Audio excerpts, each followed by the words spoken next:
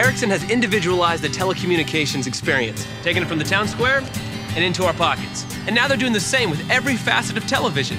Ericsson's ability to deliver the individual TV experience comes from a deep understanding of the way we all think and act and how communication, information, and entertainment can all be brought together to improve our lives. I want to videotape the perfect nose grind in real time and send it to my friend Allie who's at home with a broken leg.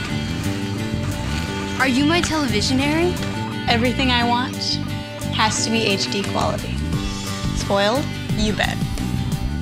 Are you my televisionary? All the stuff on TV is great, as long as I'm in control of what they watch and what it costs. Are you my televisionary?